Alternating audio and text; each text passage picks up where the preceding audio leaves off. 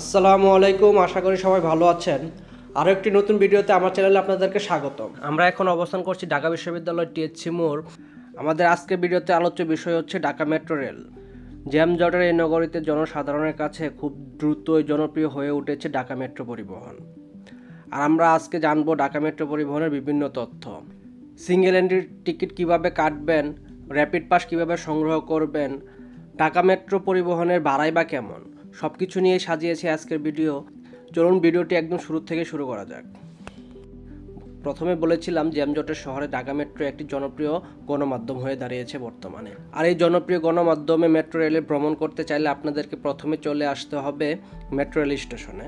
আপনার নিকটস্থ যে কোনো মেট্রো রেলে চলে আসলেই দেখতে পারবেন একটি চার্ট। সেই চার্টে দেওয়া রয়েছে উত্তরা থেকে মতিঝিল পর্যন্ত ভাড়ার তালিকা ও মেট্রো রেল ছয় লাইনের বিভিন্ন স্টেশনের নাম।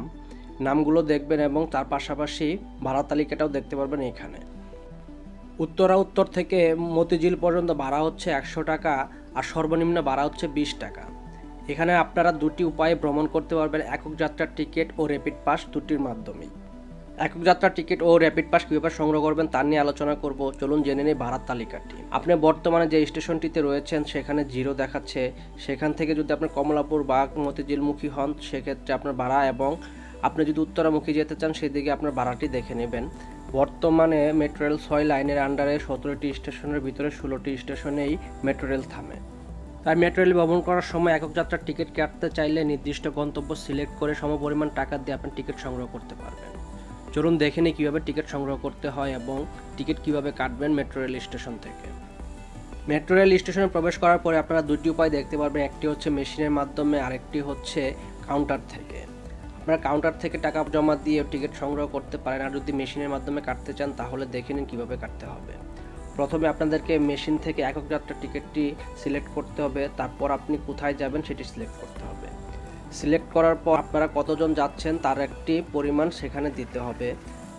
একজন লোক একসাথে পাঁচজনের টিকিট সংগ্রহ করতে পারবেন, তাই আপনারা কতজন যাবেন তা সিলেক্ট করার পর সমপরিমাণ টাকা আপনারা মেশিনে প্রবেশ করান।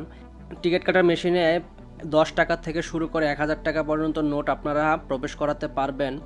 তবে চেষ্টা করবেন টিকিটের সমপরিমাণ অথবা একশো টাকার নোট প্রবেশ করানোর।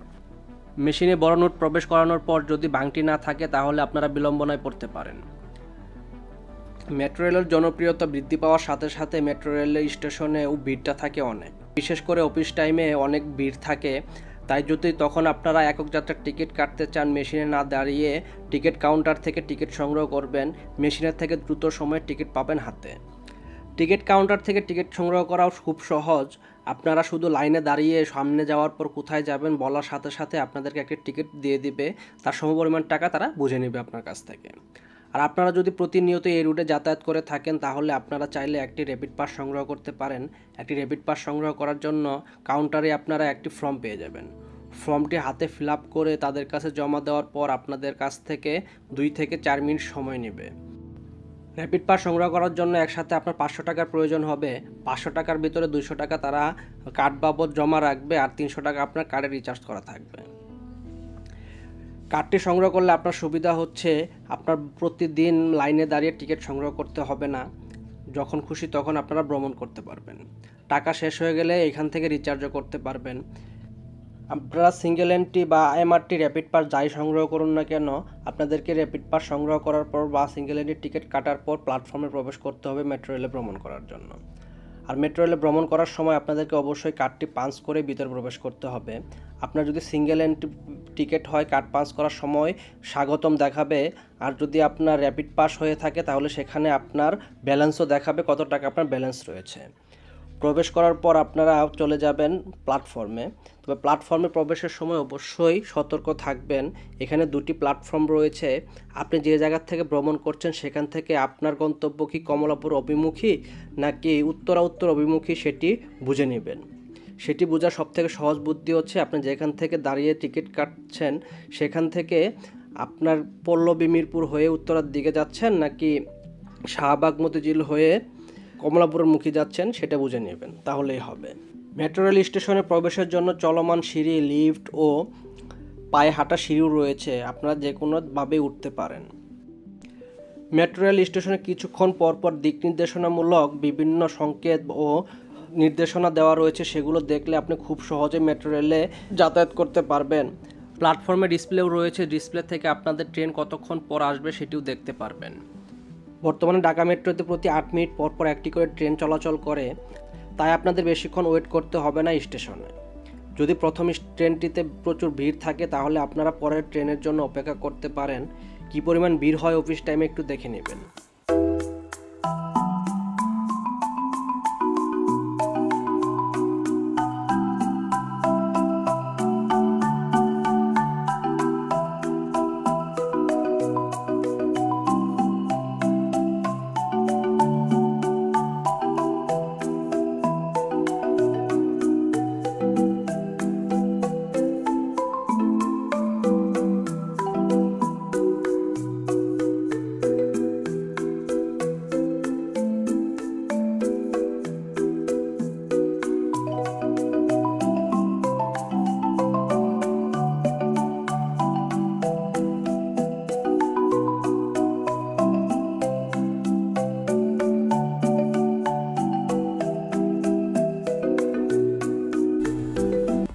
মেট্রো রেলে ওঠার সময় খুব দ্রুত উঠবেন, কারণ এখানে আগে নামতে দিন, পরে উঠুন, এরকম কোনো সিস্টেম নেই। আপনার এক নামা ও ওঠা একসাথেই করতে হবে। তাই আপনারা খুব দ্রুতই মেট্রো রেলে ওঠার জন্য চেষ্টা করবেন। মেট্রোতে প্রচুর ভিড় থাকে অফিস টাইমে তাই খুব চাপাচাপি করেই উঠতে হয়। মেট্রো রেলের একদম প্রথম বগিটি মেয়েদের জন্য বরাদ্দ করা রয়েছে। তাই খুব আরামে আপনারা ভ্রমণ করতে পারেন মেট্রো রেলে এছাড়া অন্য বগিতেও আপনারা উঠতে পারবেন, সেখানে কোনো বাধ্যবাধকতা নেই। মেট্রো রেলে ওঠার পর একদম দরজার সামনেই দেখতে পারবেন ডিসপ্লে। সেখানে আপনাদের নেক্সট গন্তব্য এবং বর্তমান গন্তব্য সবই দেখানো থাকে। কিছুক্ষণ পর পর অ্যানাউন্সমেন্টও হয়। তাই আপনার গন্তব্যটি আপনাকে চিনে নিতে হবে না। মাইক থেকে শুনে আপনি আপনার গন্তব্যে নামতে পারবেন। মেট্রো রেলে আপনাদের নির্দিষ্ট গন্তব্যে এসে পৌঁছানোর পর আপনাদের কিছু কাজ রয়েছে, যেমন আপনার সিঙ্গেল এন্ট্রি টিকিট বা র্যাপিড পাস পাঞ্চ করে এবং সিঙ্গেল এন্ট্রি ফেরত দিয়ে আপনাদেরকে স্টেশন থেকে বের হতে হবে। তবে আপনার গন্তব্যটি কোথায় সেটিও দেখে নিতে হবে মেট্রো রেল স্টেশন থেকেই। মেট্রো স্টেশন থেকে বের হওয়ার জন্য চার থেকে ছয়টি গেট রয়েছে, তাই আপনার কোন গেট থেকে বের হলে আপনার এই গন্তব্যে পৌঁছাতে সুবিধা হবে তা দেখে নেবেন। মেট্রো স্টেশনটি অনেক বড়, যদি আপনি ওর ভুল গেট দিয়ে বের হয়ে যান তাহলে আপনাকে অনেকটা পথ হেঁটে আবার ফেরত আসতে হবে আপনার নির্দিষ্ট গন্তব্যে। যদি সিঙ্গেল এন্ট্রি হয়, আপনার কার্ডটি মেশিনে ফেরত দিতে হবে। আর র্যাপিড পাস বা এমআরটি পাস হয়ে থাকলে আপনাকে লাইনে দাঁড়িয়ে আলাদা কাউন্টার থেকে বের হতে হবে। সেখানে আপনাদের কার্ড পাঞ্চ করার পর আপনাদের কত টাকা কাটা হয়েছে এবং কত টাকা রয়েছে তা দেখাবে। এই ছিল আমাদের আজকে ছোট্ট আলোচ্য বিষয়। যদি ভিডিওটি ভালো লেগে থাকে, অবশ্যই লাইক করবেন। কোনো কিছু জানা থাকলে কমেন্ট করবেন। চ্যানেলটি সাবস্ক্রাইব করে পাশেই থাকবেন। দেখা হবে আবার নতুন কোনো জায়গায়, নতুন কোনো ভিডিও নিয়ে। ততদিন পর্যন্ত ভালো থাকবেন, সুস্থ থাকবেন। আল্লাহ হাফেজ।